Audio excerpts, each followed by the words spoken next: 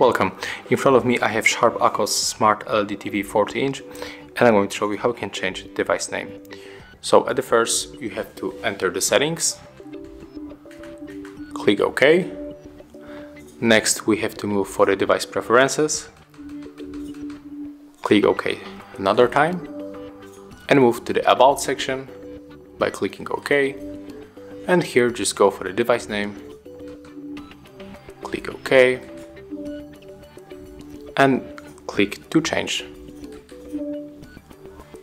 So right now you can enter one of this name, for example you can pick up the bedroom TV by clicking OK.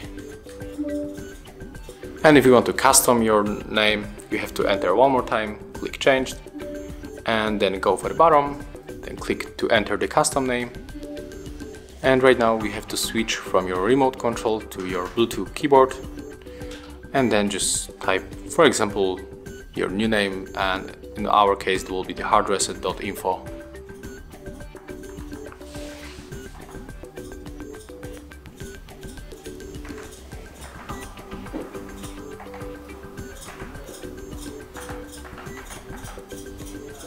And after that you have to click OK.